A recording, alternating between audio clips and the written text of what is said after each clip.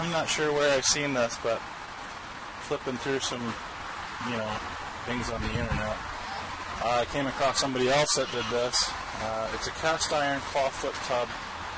We've got a, I think it's a 20 pound tank of propane, and I ordered this three burner. It's a camp stove, and uh,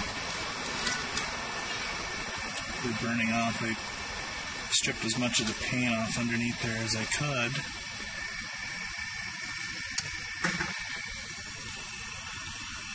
So, let's see how it works. This is all just like experimental, so.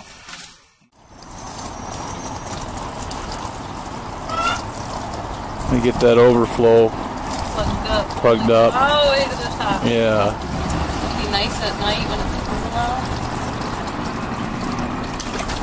But even if the power went out, we would have a hot, a warm tub. Yeah.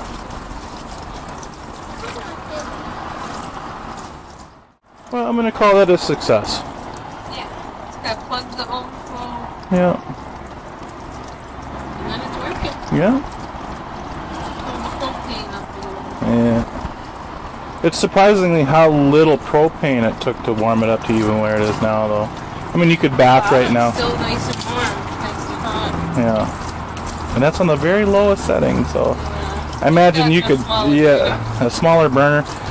Well, I think we'll use less propane because there's more surface area.